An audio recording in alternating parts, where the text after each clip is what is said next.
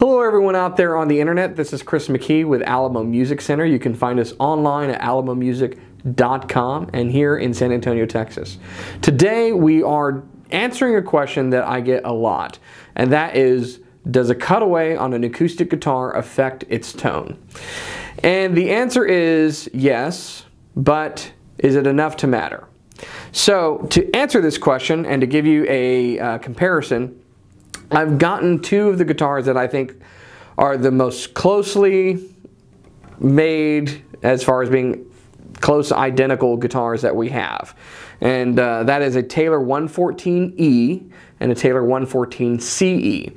These are the new 2017 models and we've done full reviews on these guitars so if you'd like to see that uh, take a look at our uh, YouTube page and we'll try to add a link down below in the description. But basically these are about as close to identical as you can possibly get. They're built by the same manufacturer in the same factory with the same materials. Now wood is always going to have some variance, but outside of that, this is as close as it gets to a straight out comparison. Um, in this particular case, we've also isolated the top uh, because the back and sides on this are laminate, and then of course the cavity of the guitar, because generally in this conversation, this is where the question really comes up. And so I'm going to attempt to discuss for you what we're looking at. Why does it change the tone? How much does it uh, change the tone? And kind of the effects on the guitar body. So obviously we know what a full-size guitar or, or, I guess not full size, but uh, full bodied guitar is what I'll call it, looks like. It looks like this. There's no cutaway. So what we're going to focus on for now is this guy. We're going to focus on this guy for now. So this is the 114 CE cutaway. And a cutaway is basically what it sounds like. We have cut away a portion of material on the guitar in order to allow more access up the neck. By cutting it away here at the 14th fret where the neck joins the body, uh, we can then get the palm of our hand further up on the neck whereas before it would kind of stop right there. And that gives you easier fretting access all the way up to about the 20th fret. So that's the benefit of the cutaway. Now what it does to the structure of the guitar is it's going to change the resonating chamber in the guitar by shortening one corner of it and it's going to change the top. Now how much and to what degree and can you hear it is the question. And you know in my opinion yes you can hear it but the changes are so subtle that the benefit of a cutaway often outweighs any difference in tone that you're going to have. We'll play these a little bit and you can determine for yourself. But here's what's going on. So when we take the top portion here, let, let's kind of first talk about what's going on with the guitar top. We're plucking a string and that string is anchored down here at the bridge. From that point, it has a fulcrum point over this saddle and from the tension on the bridge and its point resonating on the saddle, it is vibrating the top of the guitar. That top is going to vibrate, okay, and create a uh, sound waves that come out of the sound hole from a resonance chamber in this guitar. Now that size of that chamber is important. That's why guitars with deeper bodies or larger lower bouts or just bigger bodies in general are going to have more bass because there's more resonance. Smaller bodied guitars are going to have less bass because there's less resonance. Same thing when you go to a thinner body. It could be this size but thinner. It's going to sound a little thinner from a tone standpoint because we have less resonating space. Also, as we've talked about with a smaller top, you have uh, a faster action because the top's moving. So basically, we just want to understand that the space inside the guitar matters and the movement of the top is where we're getting our sound from. Now most of it comes from this pear shape here, okay? The, the sound hole obviously isn't giving us any sound because there's no top there.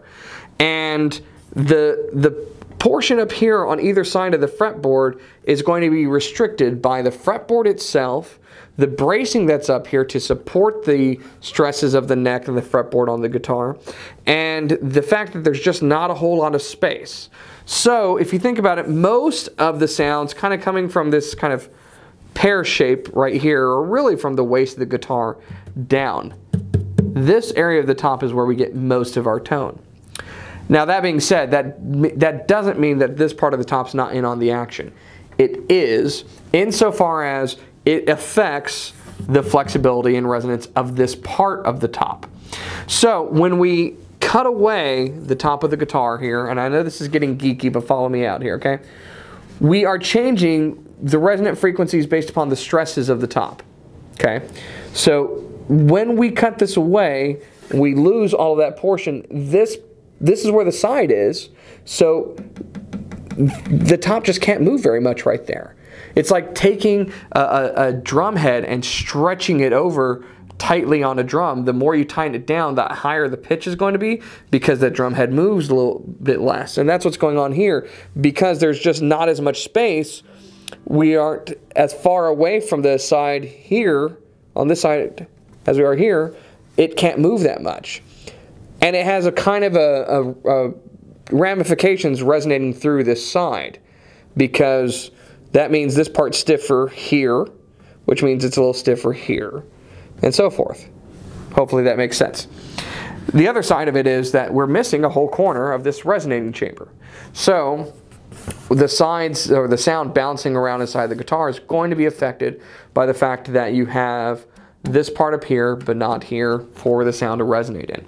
And all of that equates to slightly less low end and maybe an impact on the mid range, but slightly. And I mean very slightly. And so the question becomes, does the benefit outweigh any change?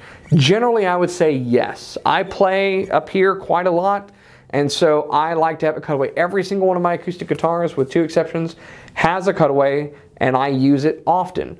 If you don't use the cutaway, then maybe you don't need the cutaway. Maybe you like it because it's aesthetically pleasing. Is that enough? If the guitar sounds good, the guitar sounds good. But if you do want to know, does it matter? Yeah, it kind of matters. It kind of does change things, but not to a great extent.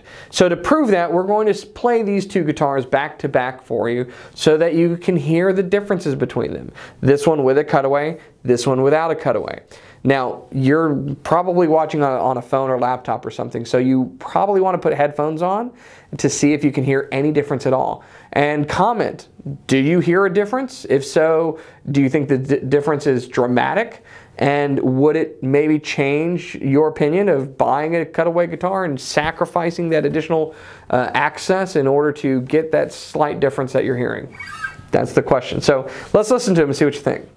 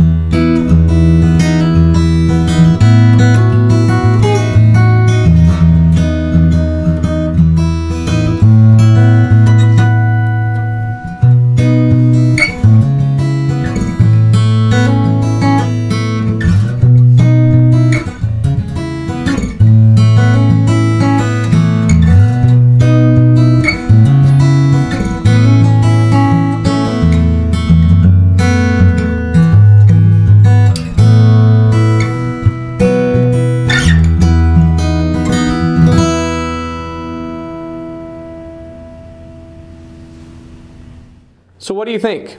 Could you hear a difference? If you did, where did you hear it? Was it in the low, the low mid, the mid, the high mid, the high? Was it in the resonance or the volume? Or could you not really hear a difference at all? Comment below and let us know what you think. Uh, personally, I hear a difference. Um, I'm not going to tell you necessarily where, and it's kind of slight, but I do hear a little bit Would it change which one I would buy? For me, probably not. Would it change which one you would buy? Let us know. If you have any questions about this or you'd like to chat more about it or if you want to see any other reviews like that, let us know. We are here to serve you. Our whole purpose is to put these videos out so that you are a better informed buyer and so that we can help you find the perfect guitar to fulfill your musical needs and help you discover music in your life. So as always, thanks for watching and don't forget to subscribe.